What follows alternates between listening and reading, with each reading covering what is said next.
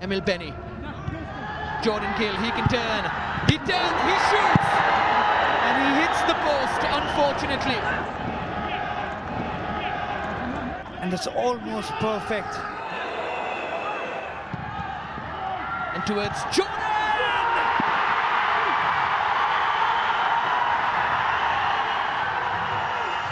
Northeast United